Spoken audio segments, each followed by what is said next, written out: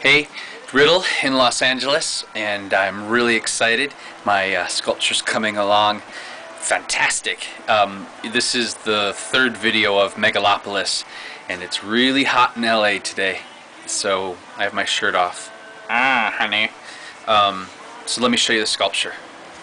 I've been working really hard at making a ton of garbage.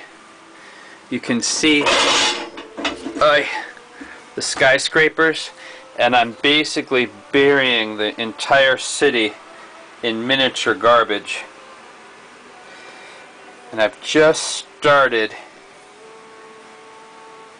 to apply my pile of garbage which is over here. So, got bottles, chains, old cell phones.